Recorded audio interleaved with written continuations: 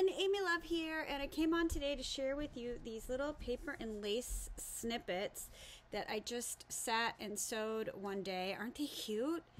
I'm thinking they would be so adorable um, as tags or clips or embellishments in journals. They're just so sweet, and I used um, of course, a bunch of uh, different kinds of lace snippets. And then I used some hymnal paper and some book paper from Angel Dream Crafts Kim on Etsy. And I also used some of the really adorable um, dyed paper I got from Jennifer at A Trace of Sparkle. And aren't they just cute? I love these little snippets. So I made just an incredible amount. I had such a good time just sewing these together one day. So I do have bundles of these available in my Etsy shop, and I will have the link to my Etsy shop below. But I want to show you how I used them. I thought I would use them on a canvas as the background. So then I did that, and then I made a little bit, a little snippet canvas. It's so cute. So um, I used just um, a hard canvas and I covered the back with this. I covered the entire canvas with these snippets and you can see them all along the edge that's there and peeking off um, on the top and on the side that is all those snippets I made and of course I covered up the middle where you can't see I should have just probably put snippets on the edge and would have saved some but they're there now. so once I had the canvas covered with the snippets, it was pretty.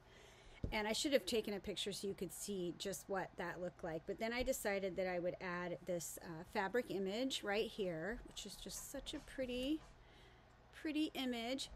And then I just kept on with these snippets. So I used tons of snippets from Angel Dream Crafts, and I will, of course, have a link to Kim's Etsy shop below and I just put them all over like look at look how pretty that is. And then just various snippets. I tried to make sure to use all different textures and colors um, and I just stuck them everywhere. This lace snippet right here is actually a lace that I have in my Etsy shop. If you're interested I think it's so so pretty. So once I got all the snippets down, I started to embellish further with um, some rhinestone cup chain here and here, and uh, um, that is available at Kim's shop. She also has it in pink, if you'd like pink.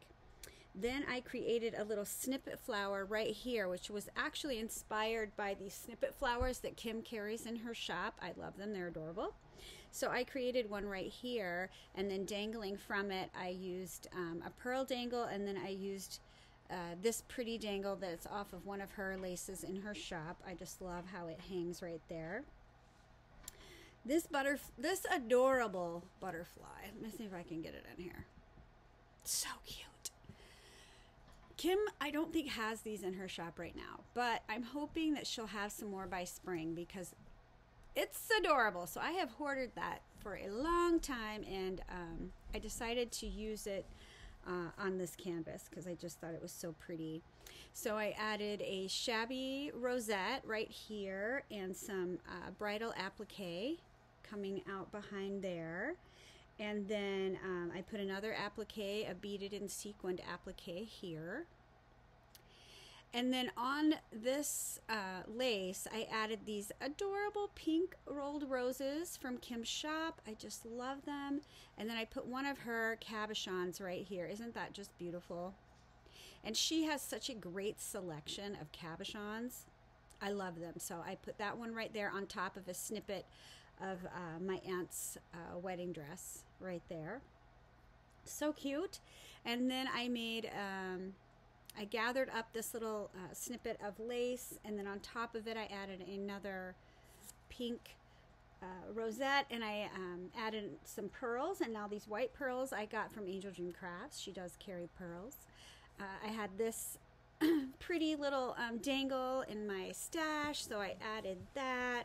And I just I love how it turned out. It's so sweet. It was so fun to make. I mean, these snippets just really did make such a great background for this. Adorable. So you can find this canvas and um, packets of these snippets in my Etsy. Um, and you'll have the link below to that. I will also put a link below to all the other ladies that are on the uh, Angel Dream Crafts design team because they are always inspiring me. So be sure you go and check them out. And I hope you're all doing well. And I am hoping to get some more time to craft here real soon. So I hope to be back um, maybe next week with another video. I hope you're all doing well. Please leave me a comment and let me know what you think. Don't forget to give me a thumbs up. And I will see you guys on the next one. Bye, everybody.